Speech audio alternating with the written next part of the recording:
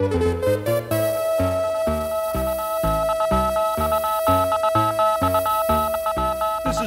countdown update. After the Wall Street Journal's stunning story, it is no longer feasible nor safe for this country to permit Elon Musk to continue to have access to any project involving the government of the United States, nor for Musk to remain at large in this country. The government must sever all connections with him immediately, seize all his technological assets, including SpaceX, Starlink, and Twitter X and if need be, detain him, deport him, or if it comes to that level, arrest him. The safety of the nation may depend upon it. A team of Wall Street Journal writers, led by Thomas Grove, has now reported, to quote them, Elon Musk, the world's richest man and a linchpin of U.S. space efforts, has been in regular contact with Russian President Vladimir Putin since late 2022. The discussions, confirmed by several current and former U.S., European, and Russian officials, touch on personal topics, business, and geopolitical tensions. The journal cites two sources who say that Musk's relationship was far more than just conversational. They claim Putin asked Musk to not activate his Starlink satellite internet service over Taiwan as, quote, a favor to Chinese leader Xi Jinping. That, the journal reports, happened late last year. The journal's source, it says, is a former Russian intelligence officer. Starlink, part of Musk's SpaceX, won a classified contract with the American space program in 2021 that was worth $1 billion, $800 million. Our government taxpayer dollars fund Elon Musk. You will recall that after initially deploying 15,000 Starlink units at no cost to Ukraine after Russia's invasion of that nation, some of the Starlinks there suddenly became inoperative. Quote, Later in 2022, the journal writes, Musk was having regular conversations with high level Russians, according to a person familiar with the interactions. At the same time, there was pressure from the Kremlin on Musk's businesses and, quote, implicit threats against him, the person said, unquote. Ukraine has asserted this year that it is now the Russians using Starlink in eastern and southern Ukraine. The journal says that since Musk has, quote, a security clearance that allows him access to certain classified information, his continuing contact with Putin triggers, quote, potential national security concerns among some in the current administration. That is putting it mildly. Musk's fingers reach into almost every aspect of American security, and particularly its communications and space programs. If he is now accepting requests from the dictator of Russia, if he is entertaining doing favors for the dictator of China, Elon Musk can no longer be trusted to be anywhere near these extraordinarily important aspects of our national defense. The Wall Street Journal team also reports the disheartening news that while some in the Biden administration appear to have been aware of Musk's connection to Russia and Putin, many, maybe most, have not been aware. Several White House officials said they weren't aware of them, per the Journal. The Journal also quotes a Kremlin spokesman who says Putin has spoken just once to Musk. That appears to match Musk's denial. As the Journal writes, in October 2022, Musk said publicly that he had spoken only once to Putin. He said on X that the conversation was about space and that it occurred around April 2021. The journal contends that is not true. It reports Musk has engaged in, quote, dialogues with other high ranking Russian officials past 2022 and into this year. One of the officials was Sergei Kiriyenko, Putin's first deputy chief of staff unquote. The journal identifies Sergei Kiriyenko as the same man named in a Justice Department affidavit as the Russian agent who had created 30 internet domains with which to spread Russian disinformation, some of them via Musk's Twitter X platform, designed to, quote, erode support for Ukraine and manipulate American voters ahead of the presidential election. And that, of course, is where the journal's Musk Putin story turns into an even more terrifying nightmare. One current and one former intelligence source, the journal writers conclude, said that Musk and Putin have continued to have contact since then and into this year as Musk began stepping up his criticism of the U.S. military aid to Ukraine and became involved in Trump's election campaign. Musk is in bed with Trump with a platform he has purchased since he began to exchange ideas and who knows what else with Putin, a platform he has gradually transformed into propaganda and disinformation and conspiracy theories for the direct benefit of the Trump campaign. There are few more dangerous combinations of money, politics, dishonesty, and foreign influence imaginable. And President Biden must act against Musk and do so immediately. Due to production deadlines, the rest of this edition of Countdown, recorded before the Wall Street Journal Musk story broke, now follows as originally planned.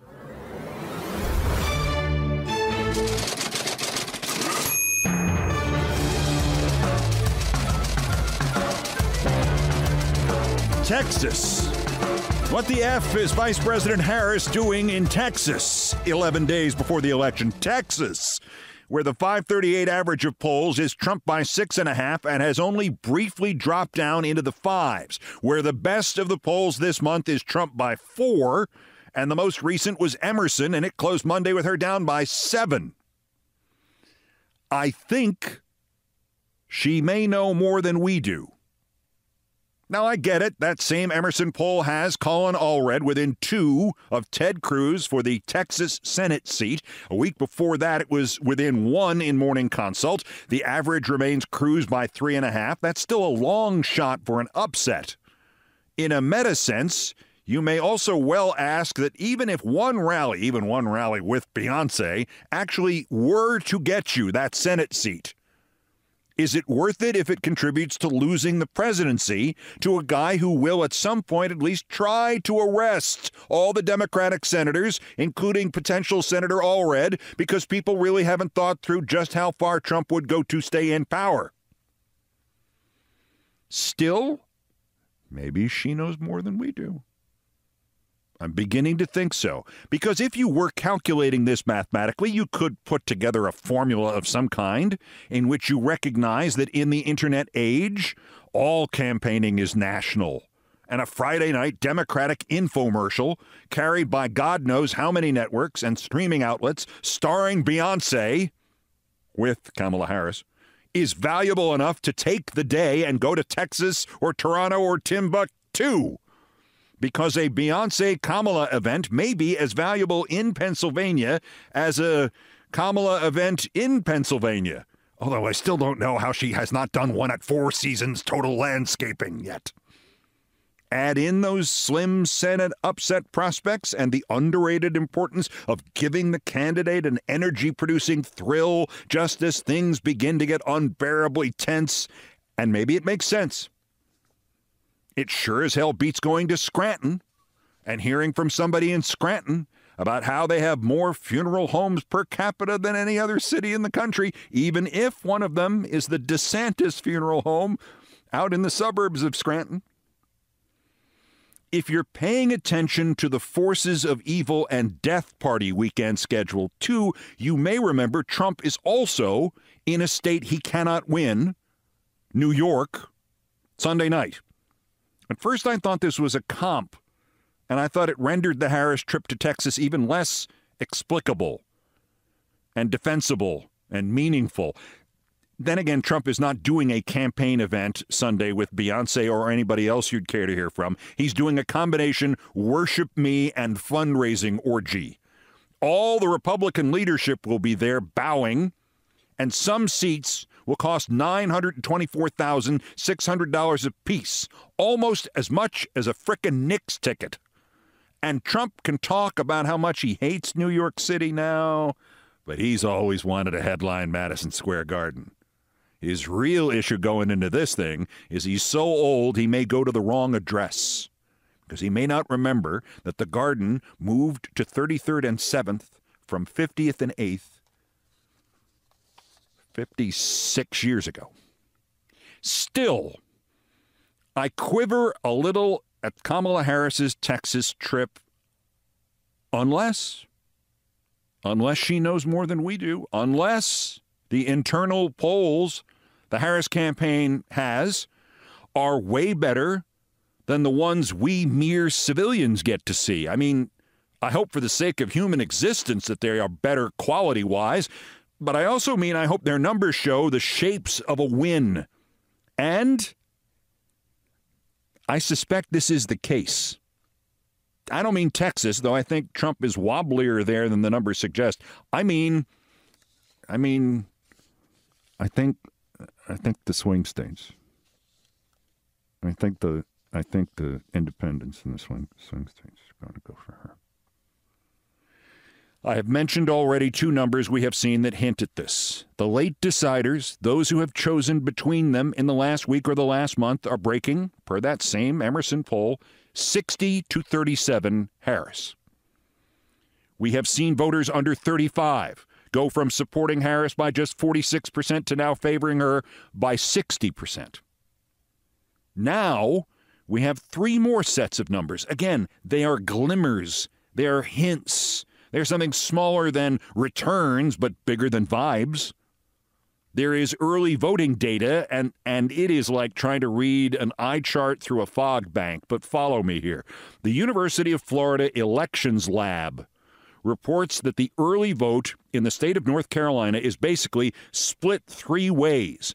That in North Carolina, more Republicans have voted early than Democrats 34.2% to 34% with unaffiliateds and third party registrations making up the other 31% of the voters.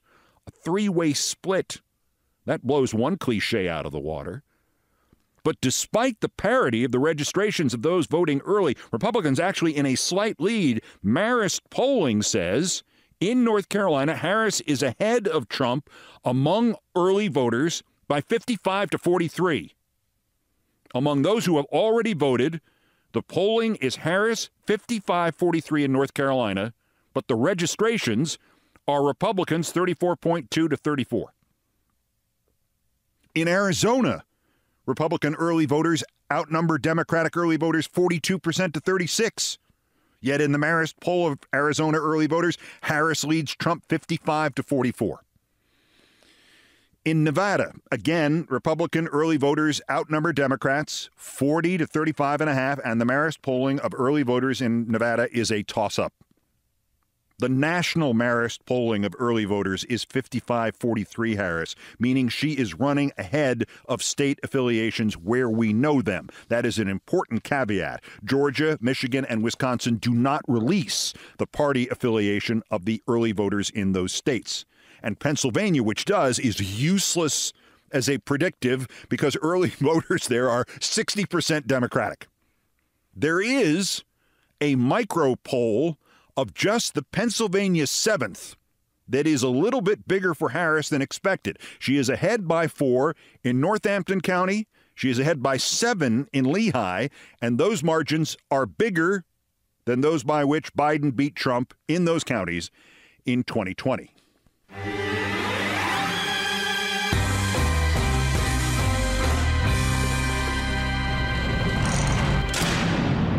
No reason to play the theme there. I just wanted to give you a second to catch your breath amid all these numbers. Any of it decisive? No. Any of it enough to cut school to go sing with Beyonce? Maybe. But there's something else from that Florida vote lab before we wade completely out of the numbers, hopefully with our limbs intact, that you should listen to. Colorado, Georgia, Idaho, Michigan, North Carolina, and Virginia report the early voters' identities by gender. And put together, out of more than 8 million votes cast just in those states, 54.43% of the early votes have been cast by women, just 44% by men.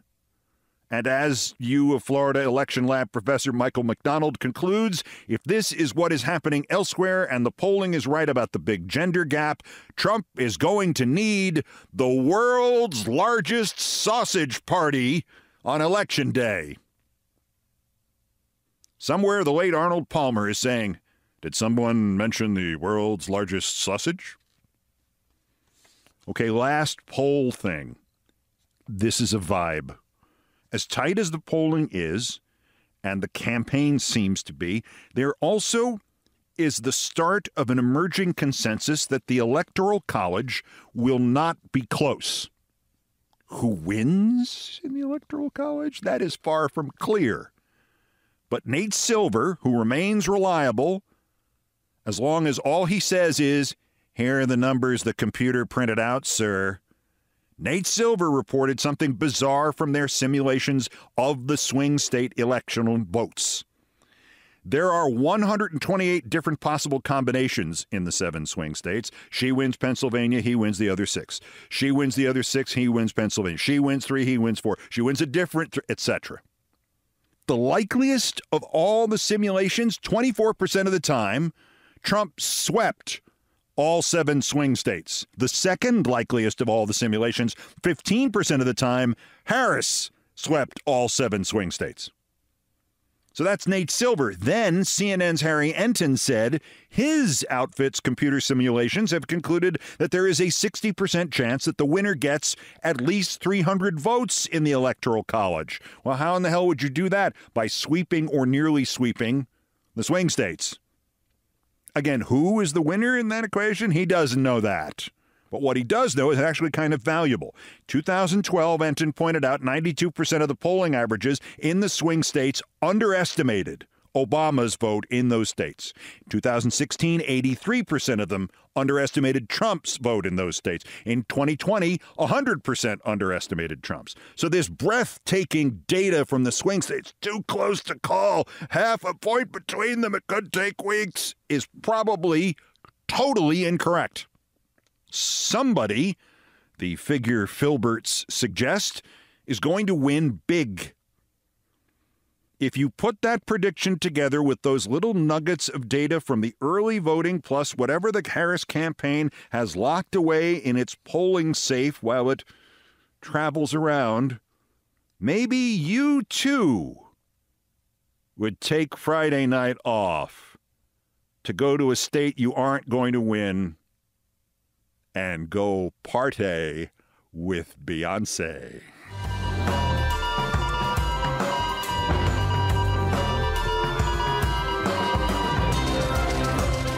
The other news Trump says he'd fire Jack Smith in the first few hours and he'd eliminate all taxes on January 20th. So stand by for a stock market crash on January 21st and an even greater depression on January 22nd and starvation in the red states on January 23rd. Oh, and Trump again said Obama is currently president. Brian, it's all coming through Iran, and Obama wants to, he doesn't want to talk about it. He doesn't want to mention, he doesn't even mention them in his statements. It's all coming through Iran. Well, you mean President Biden. So, uh, Trump's accelerating brain problem, as heard again there, will not move the needle or the arrow, even though the arrow is one of those props Steve Martin used to use, and it goes in one side of Trump's head and comes out the other. The latest model groping accusation is not going to move the needle. John Kelly has not called the Hitler news conference to move the needle. And so I think we can pretty much discount the October or really early November surprise. I usually bash the website Axios, but I give them credit. They actually listed the top 10 Trump scandals and contextualized them, and I want to read it just as they published it. Quote, pull any one of these 10 Trump scandals out of a hat and apply it to any other politician or even just a typical American, more likely than not, it would end their career. Good evening and welcome to the end of our careers. Number one, Trump was found guilty on 34 felony counts in New York for paying illegal hush money to a porn star. Two, he refused to concede the 2020 election and spread baseless claims of voter fraud that inspired a violent mob to attack the Capitol on January 6, 2021. Three, he was indicted on federal charges of illegally retaining classified documents that included nuclear secrets. The case was dismissed but could be reinstated upon appeal. Four, he was impeached twice. I'd forgotten that. Four, he was impeached twice. Once for his actions on January 6th, and once for withholding military aid to pressure Ukraine's government to investigate his political opponents. Five, he has publicly praised dictators and sided with Vladimir Putin over U.S. intelligence agencies that assessed that Russia had interfered in the 2016 election. Six, he was found liable for sexually abusing writer E. Jean Carroll and has been accused of sexual misconduct by at least 25 other women.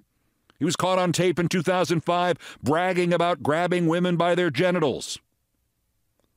Seven, he and his company were ordered to pay $350 million in a New York civil fraud trial for artificially inflating his net worths to secure favorable loan terms. Eight, he placed full page ads in the New York Times in 1989 calling for the death penalty for five black and Latino teenagers who were wrongfully convicted of raping a jogger in Central Park. He has refused to apologize. Nine, he promoted the racist conspiracy theory that Barack Obama wasn't born in the United States. And 10, he made more than 30,000 false or misleading claims during his four years in office, according to Washington Post fact checkers. Finally, Axios is showing some astonishment at all of this, though sadly, no recognition that part of the reason none of these things have ended Trump's candidacy or his career is Axios and 99% of the rest of the American political media industrial complex have never portrayed these corruptions as things that should have ended Trump's candidacy.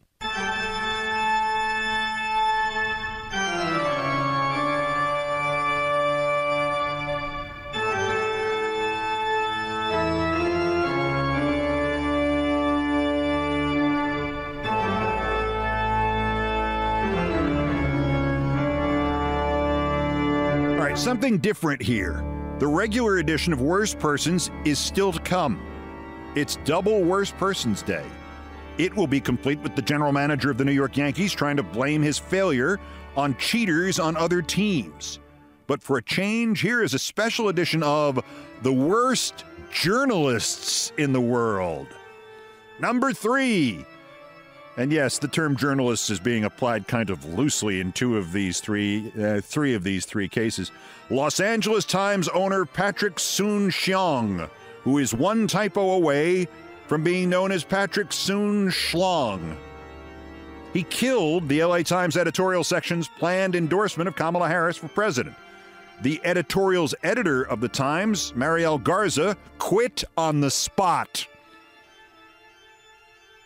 Good for her. That is the kind of ethical rage that is almost extinct today. They should put her in charge of CNN or the Washington Post, not just bring in another recycled British loser. I am resigning because I want to make it clear that I am not okay with us being silent. Garza says, in dangerous times, honest people need to stand up. This is how I'm standing up. The crazy thing about this, of course, quoting her again, I didn't think we were going to change our readers' minds. Our readers, for the most part, are Harris supporters. We're a very liberal paper. I didn't think we were going to change the outcome of the election in California. And this idiot who owns the Times killed the editorial. We should run him out of the country. Number two, Dana Bash of CNN. Speaking of being run out, she should change her name to Hapless because she is, in fact, Hapless Dana Bash. Maybe you could hyphenate it hapless Dana or hapless Dana hyphen Bash.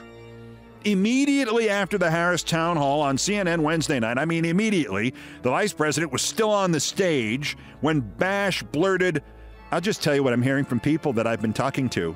If her goal was to close the deal, they're not sure she did that. Ah, well, there you have it. Call off the election. So, people Dana Bash had been talking to what kind of people? Republicans? Democrats? Ones who only had three or four fingers? Trump family members? CNN executives?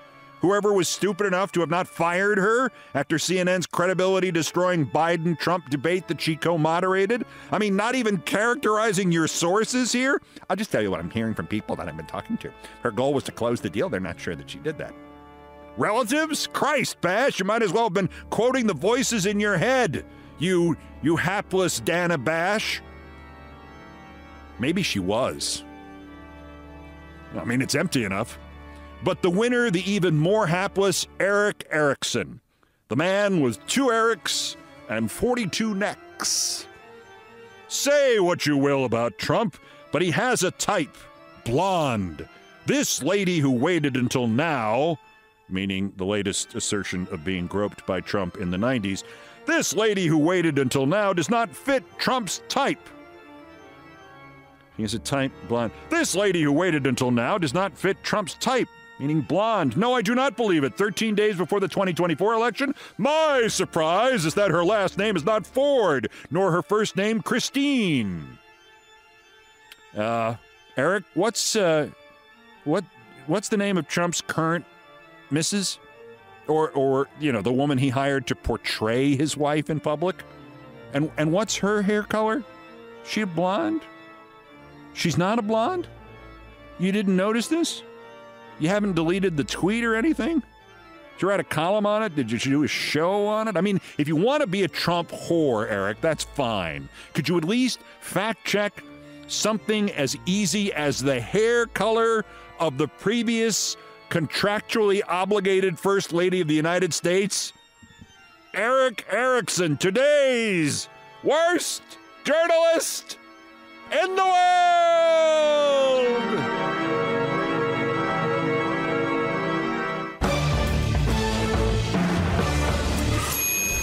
Christ. Also of interest here, if you think that's bad, hey, Lara Trump, how many states are there?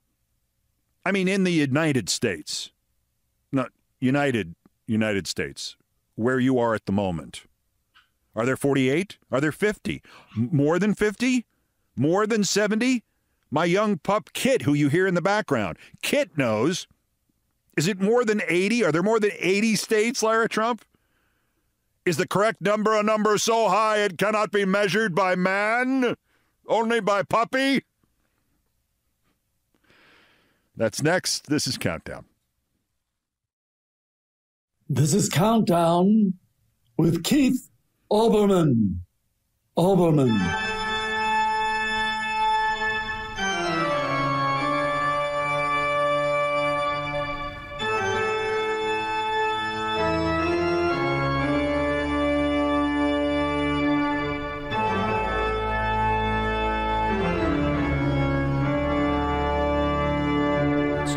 Us on this edition of Countdown, so you're an artist. Therefore, as F. Scott Fitzgerald said, an artist is someone who can hold two opposing viewpoints and still remain fully functional.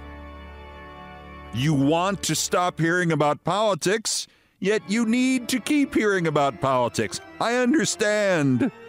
So I have an ideal compromise the collection of the best political fables from the vast collection of the master Fridays with Thurber, the political fables, coming up.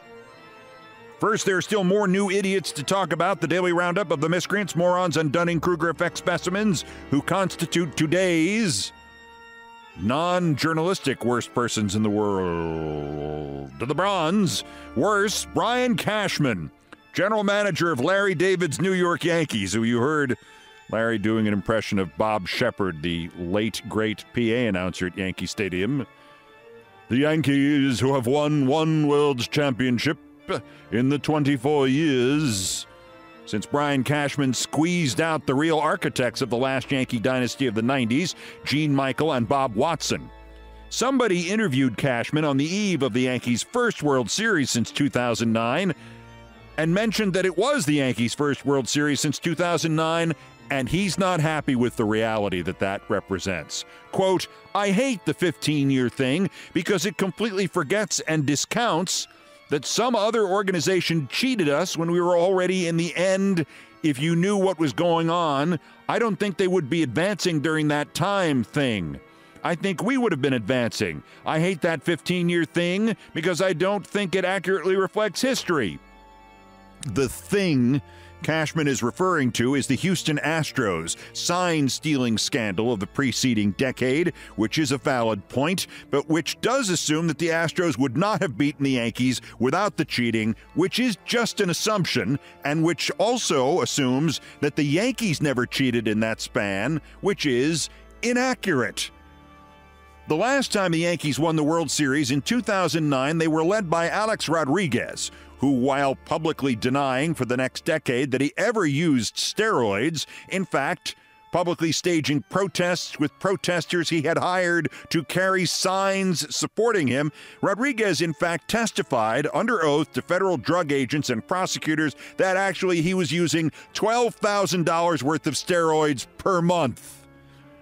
Also, in 2011, after I published a series of photographs of Alex Rodriguez looking sort of at me, but actually behind me to a guy in a Yankee coat wearing a headset who was flashing him signs with fingers and cards. The Yankees were reprimanded by baseball for a form of cheating in which a guy, an employee in the stands, was giving Alex Rodriguez information about the pitches. You can't contact a player from the stands if you are a team employee. But that's not cheating, is it? Prior to that, the Yankees' last World Series wins had been in 1999 and 2000 when noted performance enhancing drug and stimulants enthusiast Roger Clemens was the winning pitcher in two of the World Series games those two years, and he won two other games in preliminary rounds those two years, and he later won three more games for the Yankees in the postseasons, during which Cashman implies the Yankees didn't cheat.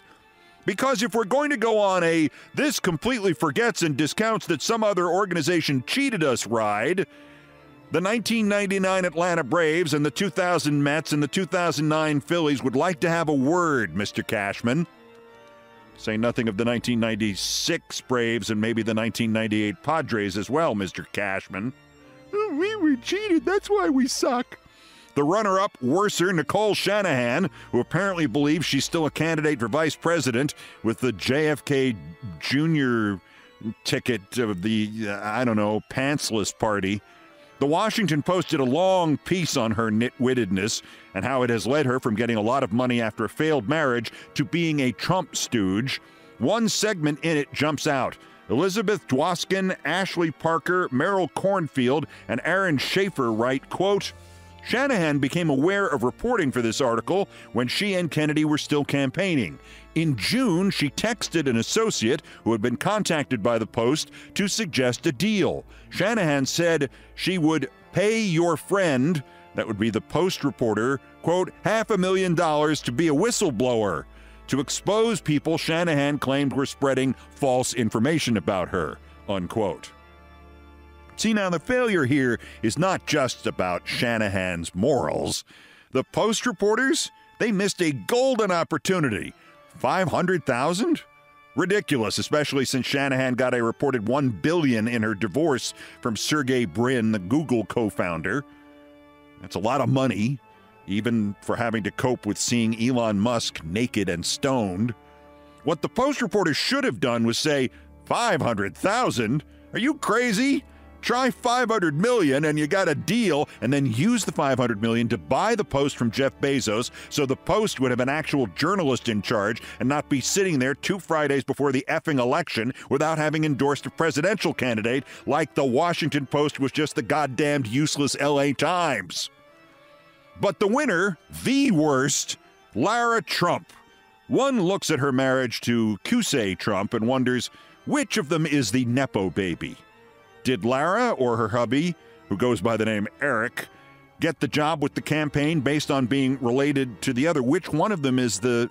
I mean, Eric is an idiot, an amazingly shallow guy, even in that family, who apparently thought that the word charity meant raising money, taking a percentage of it for himself, and letting other people have what was left over years ago when I pointed out to him that the word charity actually meant giving something of value you had to somebody else who did not have it because they needed it and you had too much, he blocked me on all social media platforms.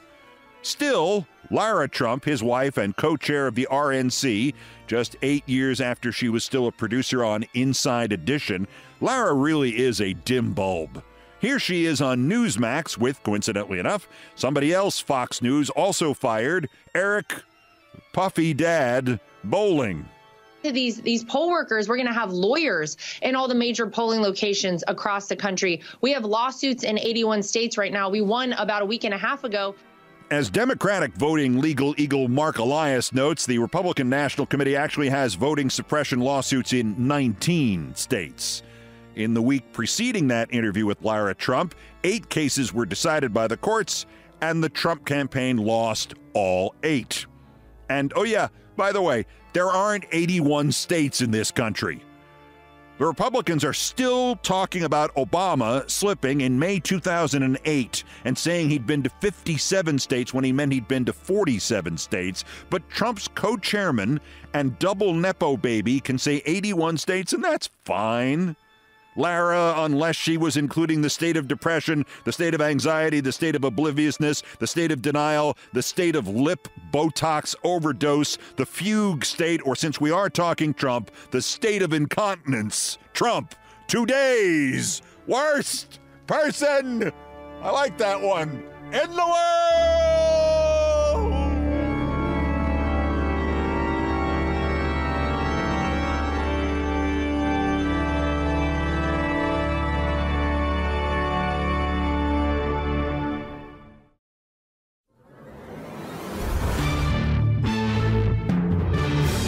Fridays with Thurber, and I have not done a bunch of the political fables lately, so let's dive right in. Some of these got him into huge trouble in the 1950s, and I'm happy to think that they would get him into huge trouble in the 2020s. We start with the least political of them, just the fun one The Mouse Who Went to the Country by James Thurber. Once upon a Sunday, there was a city mouse who went to visit a country mouse. He hid away on a train the country mouse had told him to take, only to find that on Sundays it did not stop at Beddington. Hence, the city mouse could not get off at Beddington and catch a bus for Siebert's Junction, where he was to be met by the country mouse. The city mouse, in fact, was carried on to Middleburg, where he waited three hours for a train to take him back. When he got back to Beddington, he found out that the last bus for Siebert's Junction had just left, so he ran and he ran and he ran, and he finally caught the bus and crept aboard, only to find out that it was not the bus for Siebert's Junction at all, but was going in the opposite direction, through Pell's Hollow and Grum, to a place called Wimberby.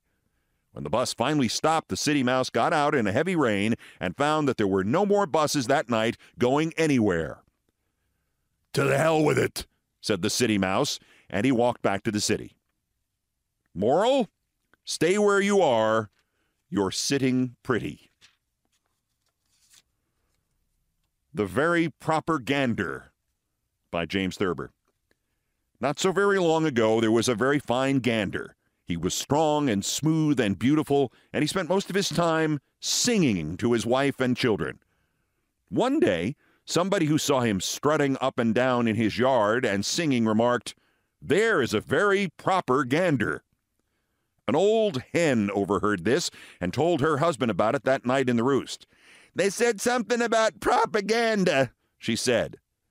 I have always suspected that, said the rooster, and he went around the barnyard next day telling everybody that the very fine gander was a dangerous bird, more than likely a hawk in gander's clothing.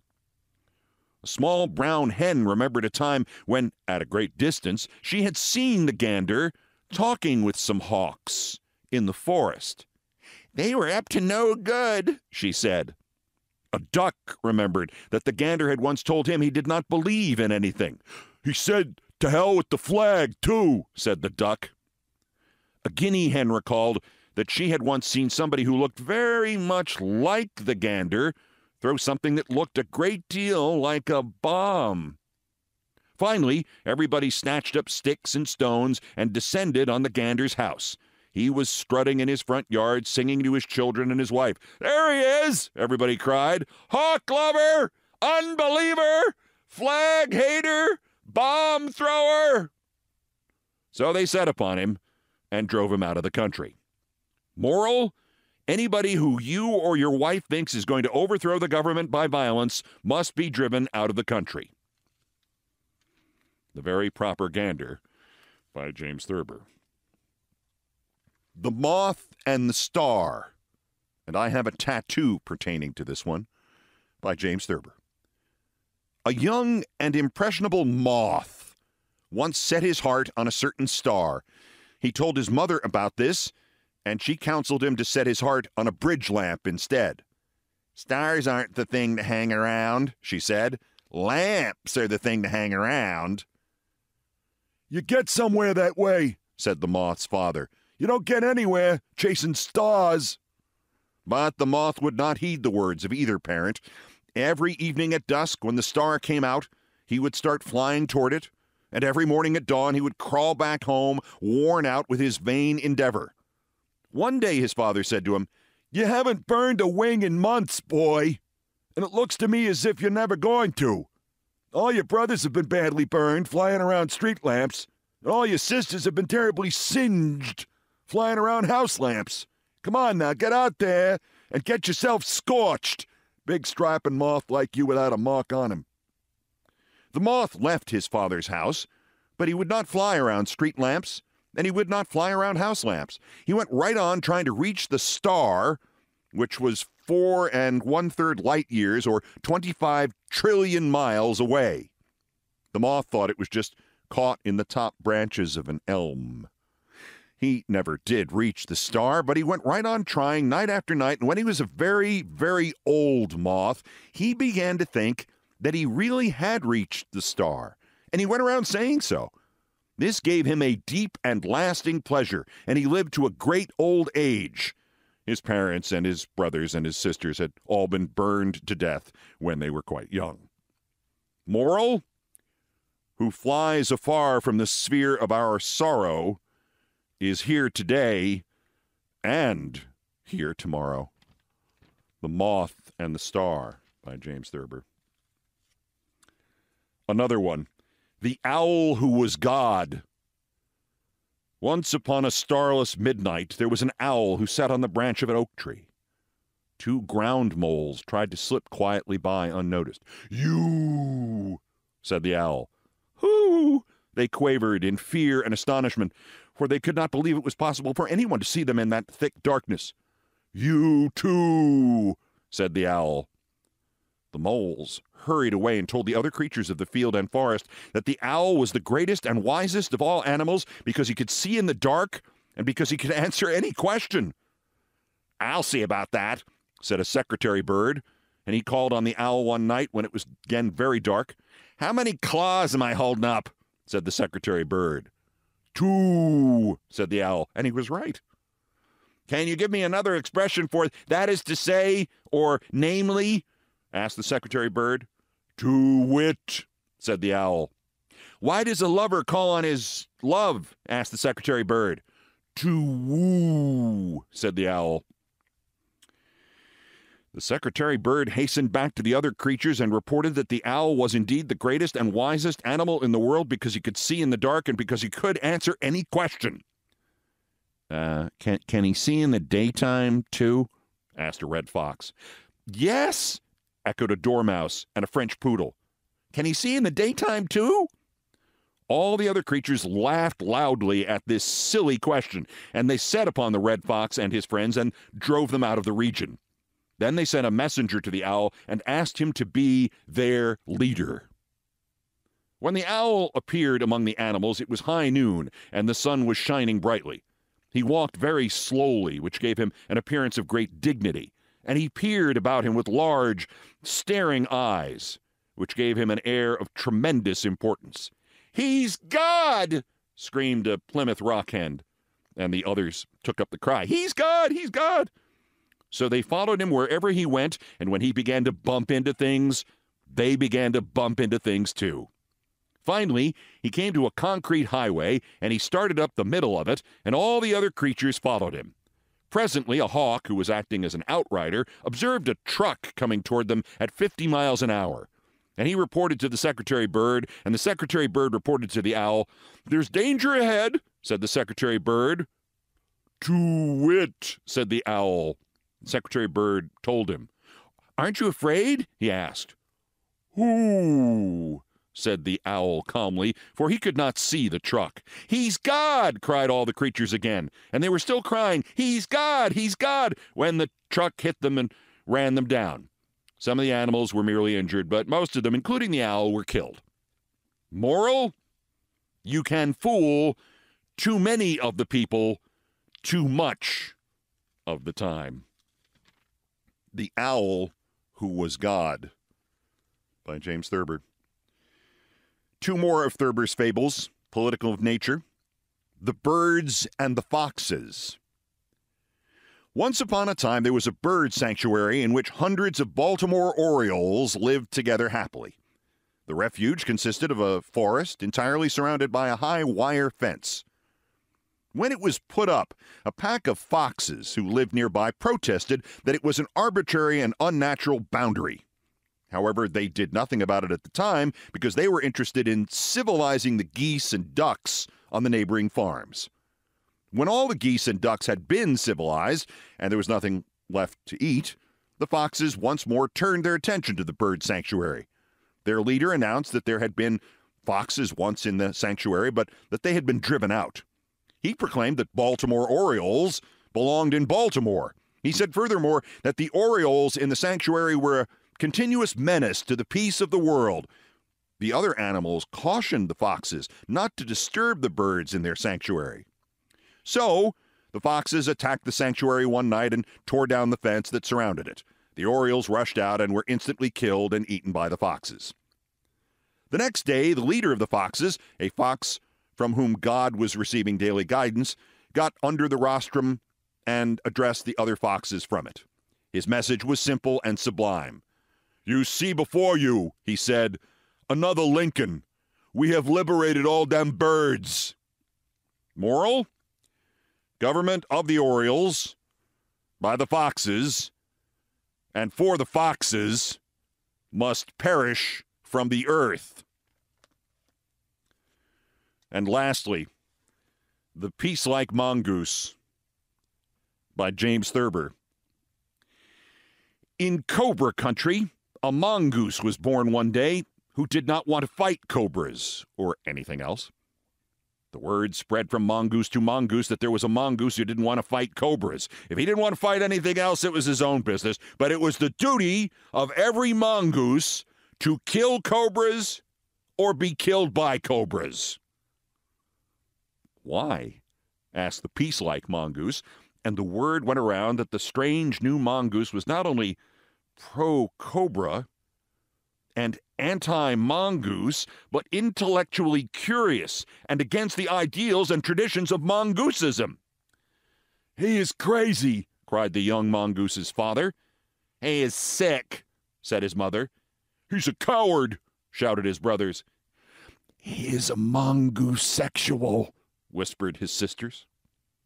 Strangers who had never laid eyes on the peace like mongoose remembered that they had seen him crawling on his stomach or trying on cobra hoods, or plotting the violent overthrow of Mongoosia. I'm trying to use reason and intelligence, said the strange new mongoose. Reason is six sevenths of treason, said one of his neighbors. Intelligence is what the enemy uses, said another. Finally, the rumor spread that the mongoose had venom in his sting, like a cobra, and he was tried, convicted by a show of paws, and condemned to banishment. Moral? Ashes to ashes and clay to clay. If the enemy doesn't get you, your own folks may. The Peace Like Mongoose by James Thurber. I've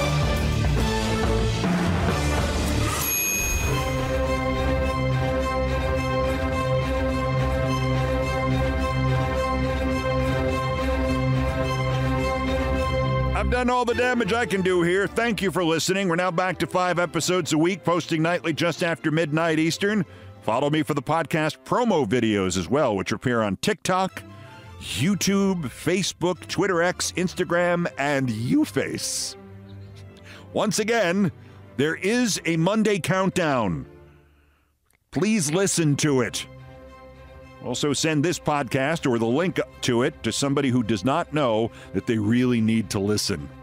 Brian Ray and John Philip Shenale, the musical directors of Countdown, arranged, produced, and performed most of our music. Mr. Shenale handled orchestration and keyboards. Mr. Ray was on the guitars, bass, and drums, and it was produced by TKO Brothers. Our satirical and pithy musical comments are by the best baseball stadium organist ever, Nancy Faust. Sports music is the Olbermann theme from ESPN2, written by Mitch Warren Davis, courtesy of ESPN Inc. Other music arranged and performed by the group No Horns Allowed. My announcer today was my friend Larry David, Yankees fan. Fan. Everything else was pretty much my fault. That's countdown for today, one week and four days until the 2024 presidential election, the 1,389th day since convicted felon dissociative fugue J. Trump's first attempted coup against the democratically elected government of the United States. Use the election, use the mental health system, use presidential immunity to keep him from doing it again while we still can. The next scheduled countdown is Monday. Bulletins as the news requires. Till then, I'm Keith Olbermann. Good morning, good afternoon, good night, and good luck.